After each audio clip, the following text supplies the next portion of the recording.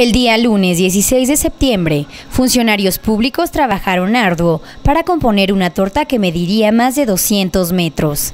220 metros. Esperemos que alcancen lo, más que podamos, unas 1.500, 2.000 personas. La elaboramos, digo, porque también participé este, varias personas, eh, compañeros aquí del ayuntamiento, fue personal del ayuntamiento los que estuvimos este, trabajando en la elaboración, todo muy higiénico, este, yo estuve muy al pendiente porque no porque se, se ha dado vamos a hacer las cosas a la carrera o así nomás.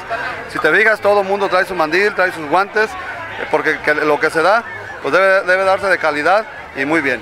Crema, jamón, chile jalapeño y jitomate fueron los ingredientes colocados en la torta gigante repartida y compartida por los ciudadanos.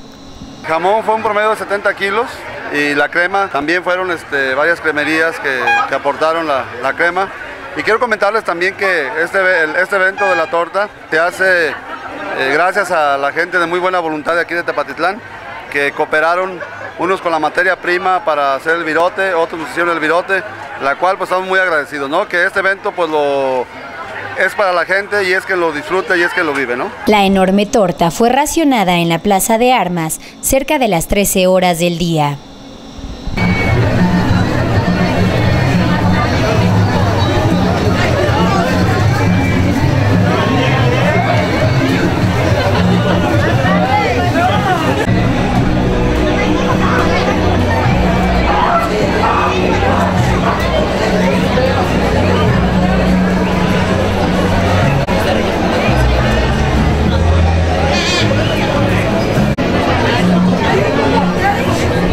Central Noticias, Jade Castellanos.